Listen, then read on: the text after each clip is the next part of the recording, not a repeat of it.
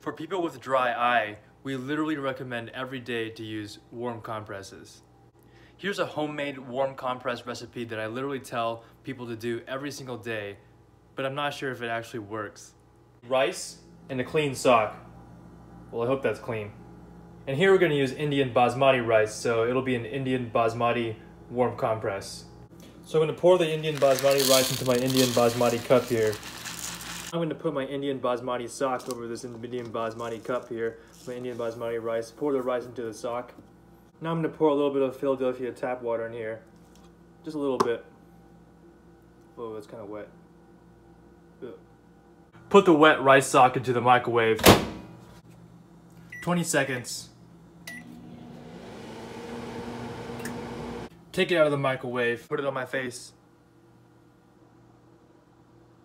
Oh. It actually feels pretty good. So it actually works pretty well.